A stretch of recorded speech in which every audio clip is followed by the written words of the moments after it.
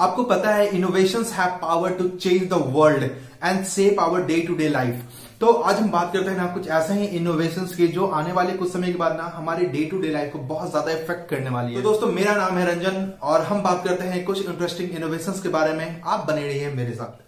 Travelling कितना आसान हो गया आजकल। हम कभी भी किसी ट्रेन बस या फिर फ़्लाइट की टिकट बुक करते हैं और कभी भी कहीं भी जा सकते हैं। आइधर वो आपको गोवा जाना हो, दोस्तों के साथ चिल करने या फिर किसी फॉरेन कंट्री जाना हो। या फिर सेम प्रोसेस करके ना किसी रिलेटिव को आपके घर आना हो, आपको परेशान करने, या आप किसी रिलेटिव के घर जाते हो, उन्हें परेशान करने।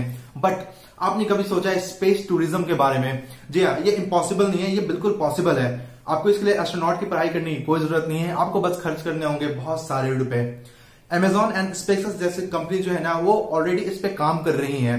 तो आने वाले कुछ समय के बाद ना, आप लिटरली स्पेस के ऑर्बिट को देख करके टच करके वापस आ सकते हो। हम बात करते हैं रोबोट्स की। तो रोबोट्स ना आने वाले टाइम में हमारे डे टू डे लाइफ को बहुत ही ज़्यादा इंपैक्ट करने वाले हैं। इधर आप हमारे फैक्ट्री के मैकेनिज्म की बात कर लो या फिर स्पेस की बात कर लो। इवन नासा ने ऑलरेडी स्पेस में रोबोट्स जो है ना, वो भेजने चालू कर दिए हैं। क्योंकि उनको सर्वाइव करने के लिए ऑक्सीजन की ज़रूरत नहीं होती है, ना ही किसी तरह की फ़ूड की ज़रूरत होती है।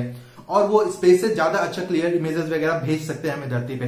अगर हम बात करते हैं जापान की तो जापान जो है ना, वो बिल्कुल फ्यूचर में जी रहा है। वहाँ पे बहुत सारे रेस्टोरेंट्स एंड होटल्स ऐसे हैं ना, जो बिल्कुल रोबोट ऑप्टिमाइज हो चुके हैं। वहाँ पे अगर आप बात करते हो बटलर की या फिर रिसेप्शनिस्ट की तो आपको हर जगह से रोबोट ही रोबोट नज़र आएँगे।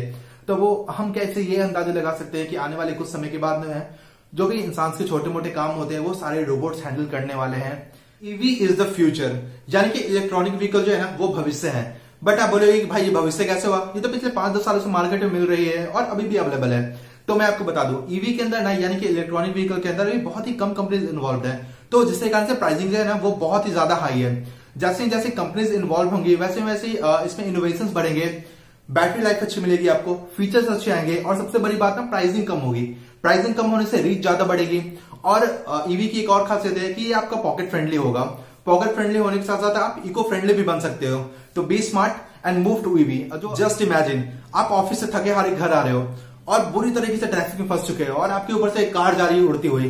तो कैसा लगेगा आपको? जी हाँ मैं कोई साइंस फिक्शन मूवी की बात नहीं कर रहा हूँ और ना ही हम मार्वल यूनिवर्स में जी रहे हैं। बट ये चीज़ पॉसिबल है।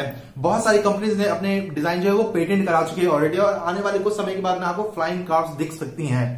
बट अगर हम एक परसेंट मान भी लेते हैं ये कार्स नहीं होंगे। पूरा कार का मॉड्यूल नहीं होगा। बट जेट्स की जैसे चीज़ें जो है ना, वो आपको डेफिनेटली देखने को मिल सकती है आने वाले कुछ सालों में। करते हैं सोलर पैनल्स के बारे में।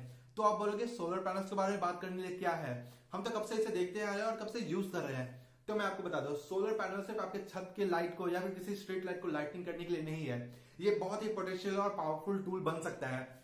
बहुत सारी कंपनीज़ और बहुत सारे कार मैन्युफैक्चर जो है ना, इसके ऊपर वर्क कर रही है कि हम सोलर पैनल को कैसे कैसे यूटिलाइज कर सकते हैं। इवन कि आप अपने पूरे घर को एक सोलर पैनल से जो है ना, वो लाइटिंग कर सकते हो। बहुत सारी कार कंपनी इसके ऊपर वर्क कर रही है कि कैसे हम इसको सन रूफ की तरह यूज़ कर सकते हैं, ताकि आपके कार को भी प्रोटेक्ट करे, आपके कार को भी पावर दे और इन्वायरमेंट फ्रेंडली भी बन सके। तो आज के लिए बस इतना ही। मिलते हैं अगले वीडियो में।